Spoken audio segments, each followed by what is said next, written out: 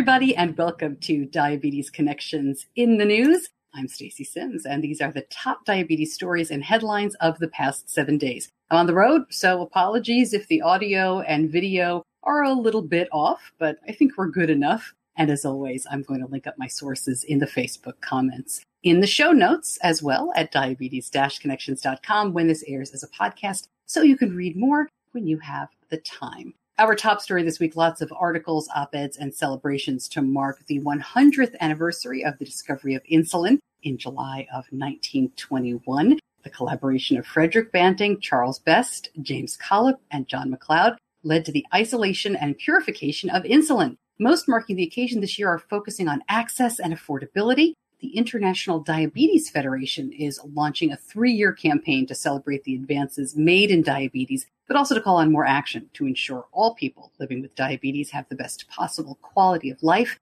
and health outcomes.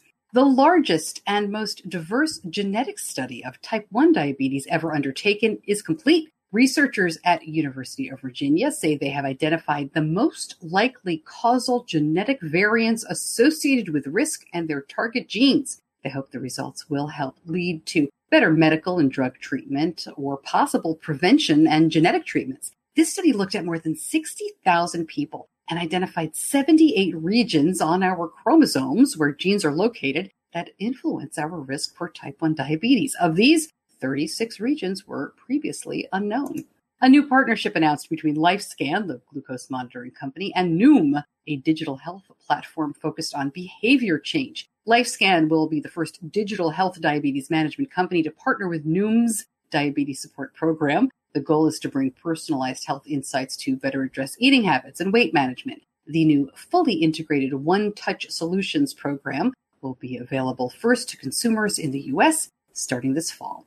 AstraZeneca gets approval for its once weekly diabetes medication Bydureon in kids as young as 10. The injectable is used for people with type 2. The approval comes a month after a study showed the drug significantly reduced blood glucose levels in teens Bydureon is already approved for adults with type 2, and the only other non insulin options available for adolescents with type 2 all have to be taken daily.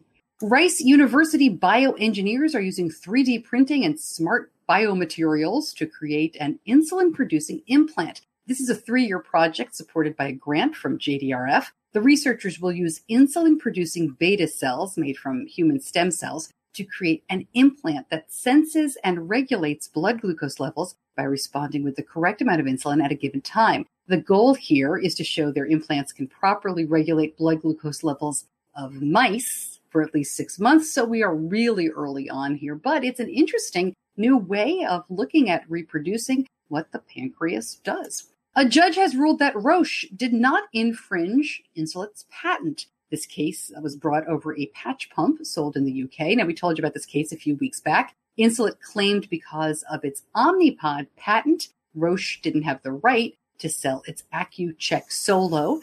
The judge ruled for Roche. An Olympic hopeful with type 1 is sitting out the Tokyo Games due to an injury, but she's also inspiring others and starting a new nonprofit to help other people with diabetes. Long jumper Kate Hall Harnden was on track for the 2020 Olympics, but she was injured this past January. She was diagnosed at age 10, and she and her husband have now formed the DiaStrong Foundation, which aims to give financial assistance to people with diabetes who want to improve in their sport and diabetes management. They've planned to launch grants for financial assistance this year. Those details are being finalized, and they're going to host two camps in Maine this year one for teens and one for people at any age. I have linked up a great story in Diabetes Mine if you want to learn more. And that's it for In the News this week. If you like it, please share it and join me wherever you get your podcasts for our next episode. Coming up on Tuesday, I'm talking to Omnipod. We're going to get an update on the Omnipod 5 with Horizon system. You all had a lot of questions.